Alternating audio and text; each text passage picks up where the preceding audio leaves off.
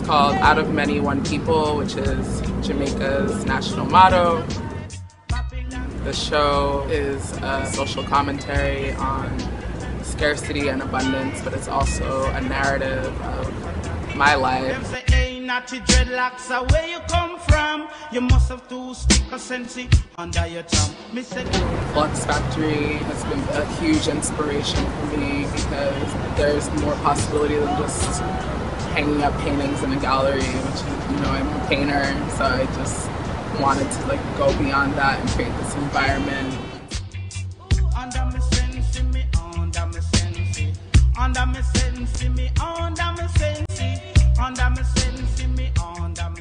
sensi. I played in Arawak Indian man who is on the Jamaican coat of arms. They were the indigenous inhabitants of that island, and you know, so we come from that.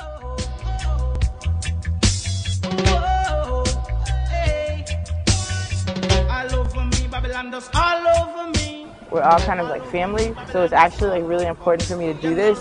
But I just like how organically and like randomly it kind of just transpired.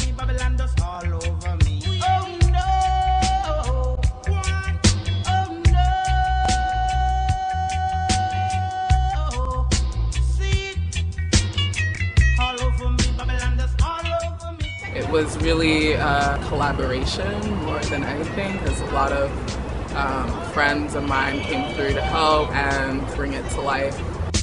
Whoa. Hey Babylon, you know like ganja man, but uh, we bring the foreign currency on the island. Do Babylon no bother charge me, sir? Do Babylon no bother charge me, sir?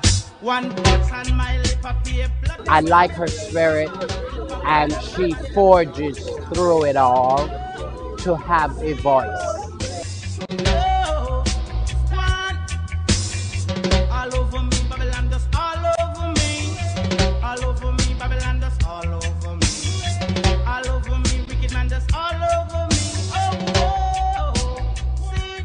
I think that the art here is amazing, very talented, and I want you to turn off the camera so I can do my side deal and purchase some art before George Soros walks in here and raises all the prices too high.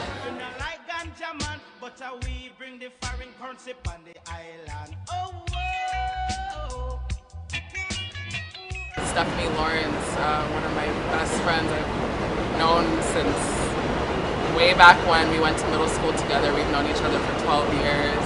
She's been like my right hand man throughout this whole process, and been amazing.